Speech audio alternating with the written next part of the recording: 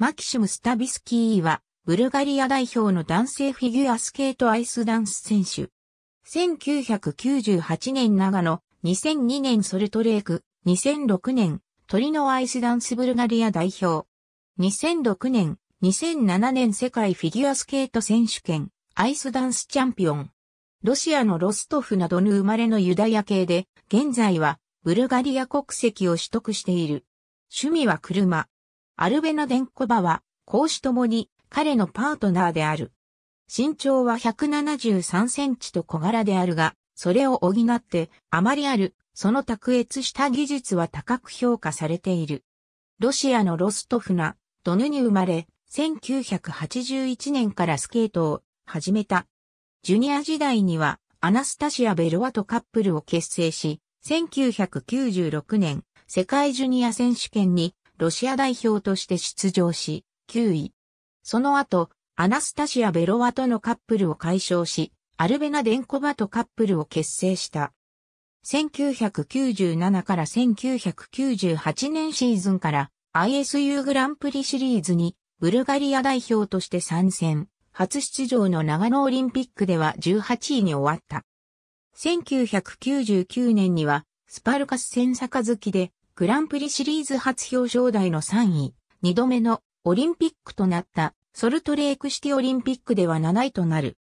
2002から2003年シーズン、ボフロスト杯でグランプリシリーズ初優勝を飾り、初進出のグランプリファイナルでは3位となる。2003年欧州選手権で2位、迎えた2003年世界選手権では初表彰台の3位となり、ブルガリアに世界選手権初のメダルをもたらした。3度目のオリンピックとなったトリノオリンピックではコンパルソリーダンスで3位スタートとなったものの、オリジナルダンスとフリーダンスで5位、総合でも5位に終わった。しかし、トリノオリンピック後に行われた2006年世界選手権において、ブルガリア選手として初めての優勝を果たす。翌2006から2007年シーズンにはグランプリファイナルで優勝し、2007年世界選手権でも2連覇を果たした。この実績により、2007年4月にはデンコバと共にブルガリアの国家勲章では最高位のスタラプラニナ賞を受勲している。2007年8月5日にブルガス近郊で飲酒の上死者を出す交通事故を起こしたと報道された。事故当日には安全運転キャンペーンに参加していたという。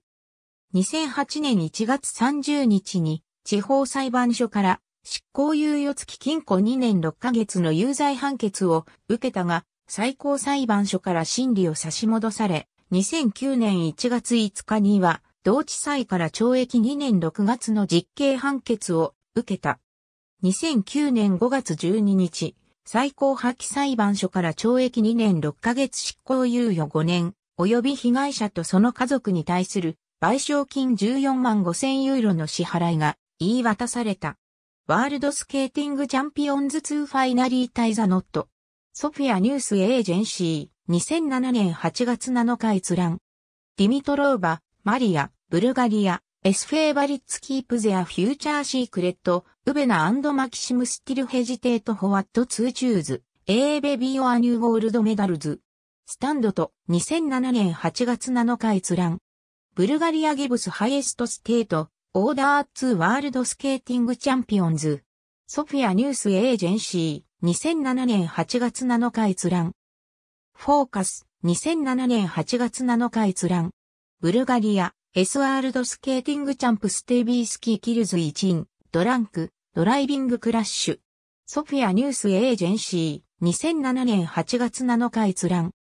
AB マキシムスタビスキーに執行猶予付きの判決が下る AFP、BB ニュース2008年1月31日更新。飲酒事故のスタビスキーに2年6月の実刑判決。AFP BB ニュース2009年1月7日。更新、アイスダンス元世界王者のスタビスキー実刑を回避、AFPBB ニュース2009年5月13日、更新。ありがとうございます。